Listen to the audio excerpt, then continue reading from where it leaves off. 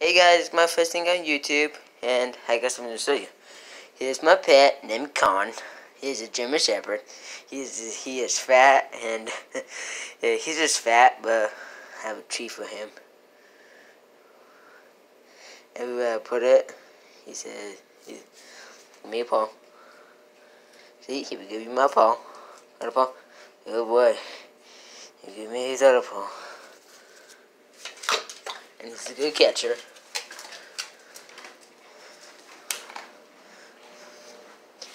And here are my guinea pigs.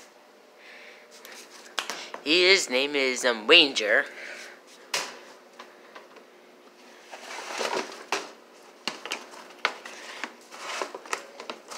And her name is Bethany.